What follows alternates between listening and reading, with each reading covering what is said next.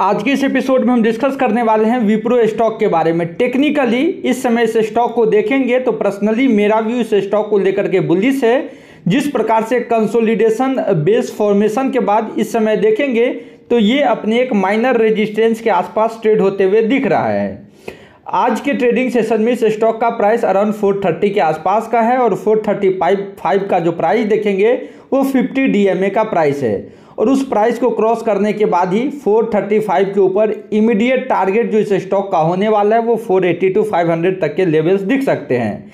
IT stock के सभी stocks में जो अप ट्रेंड देखा, वो अभी भी विप्रो में पेंडिंग है और श्योरली जो नेक्स्ट मूव है, उसमें विप्रो लीडर के रूप में उभरते हुए दिखेगा।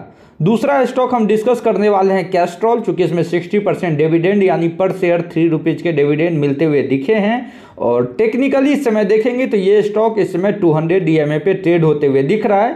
तो इस स्टॉक में भी लॉन्ग किया जा सकता है। Buying price is between 110 to 115 with stop loss below 102 for target of 130 plus और ड्यूरेशन मैक्सिमम वन मंथ